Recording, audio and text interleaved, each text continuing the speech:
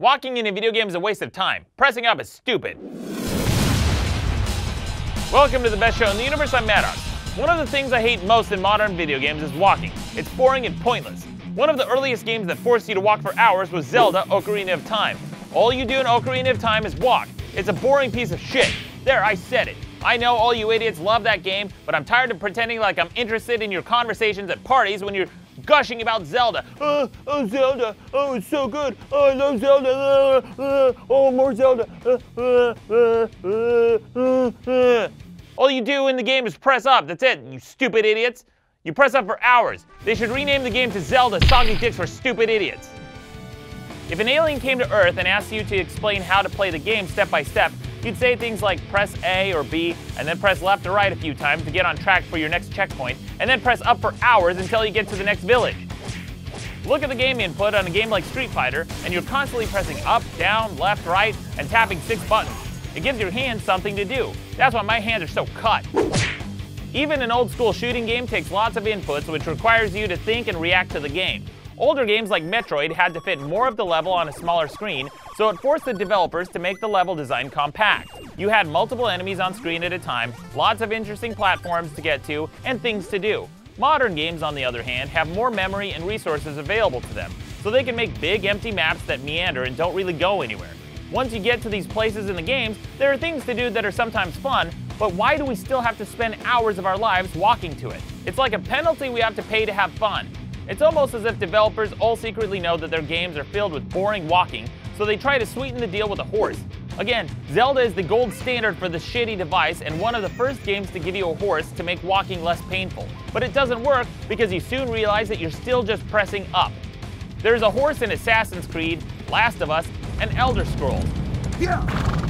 There's even a horse in Witcher 3, which is another boring game that every idiot popped a boner over when the core gameplay consists of pressing up. And having a horse doesn't make it any better because A, it only speeds things up a little bit, and B, horses are stupid assholes who laugh like idiots. Horses should be turned into glue. Idiot. Even in Metal Gear Solid 5, a game I actually like, all you do is press up. And guess what? More horses. Having a horse in a third person game is a guaranteed sign that you're going to spend a lot of time looking at your map and pressing up. It's like the developers want you to go on a scavenger hunt every time you play just before your mission starts. The core gameplay is fun, but they keep hiding it behind hours of walking. Just get me there already and stop making us spend our lives pressing up to play your stupid game. Shadow of the Colossus is one of the most revolutionary games of our time, but even this game has hours of long, boring walks with a horse. You know what's better than riding on a horse? Anything. Look at this boring stroll you take in Fallout 4. All you do is walk. There's a great example of pointless walking in the PS3 game Ni no Kuni. You enter the temple, and then you have to press up for a while until you get to the guy you need to talk to.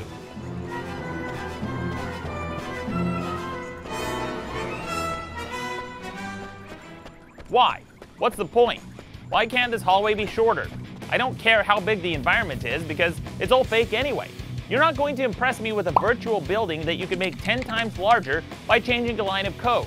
Some developers tacitly acknowledge how boring walking is, so they try to fill the environment with plants, herbs, and small fry enemies to fill your time. No thanks, idiots. I don't want to play a flower picking simulator. I just want to play the game I paid for. Stop making me go on a hike every time I want to play a game. If I wanted to hike somewhere, I'd go on an actual hike with fresh air, sunlight, and a chance of meeting people. My life would improve significantly. I don't want that. Just let me sit in the dark and kill people alone. And yeah, I know everyone loves Ocarina of Time, and I know I'm gonna get shit on by all you crybabies, so go ahead and vote this video down, idiots. See if I care. Doesn't change the fact that the game sucks shit. Just get me there already. I'm tired of pressing up in video games. That's it for now. Until next time, I'm Maddox.